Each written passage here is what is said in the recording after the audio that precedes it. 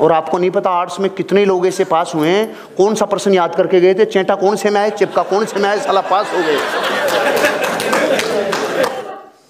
जब हमारा वाइवा होता था ना, वाइवा तो मेरे को एक बात बचपन में पता चल गई थी कि कि या तो कन्विंस कर दे या कंफ्यूज कर दे। दोनों में से एक कर देगा तो तू जीतेगा। तो हिस्ट्री के टीचर ने मुझे हिस्ट्री में कुछ चीज़ें ऐसी परेशान कर रही थी जो मुझे याद नहीं थी, लेकिन मैं एक ब्रह्मास्त्र लेके गया था। कि अगर इसने ऐसा कुछ भी ऐसा पूछ लिया तो मैं ऐसा मारूँगा, वो कहेगा, ये तो बापू है। मुझे आज भी याद है, उसने मुझे बोला था, आपको कोई भौगोलिक जगहों के नाम याद है? अंगमगत काशी कौशल वज्जिमल